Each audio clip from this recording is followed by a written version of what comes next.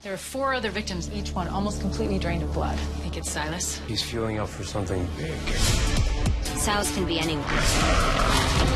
Silas. It's time to drop the veil. And by drop the veil, you mean unleash all hell on earth? We need to stop Bonnie from doing this spell. You have no idea who I am. Greetings from the dead. The Vampire Diaries.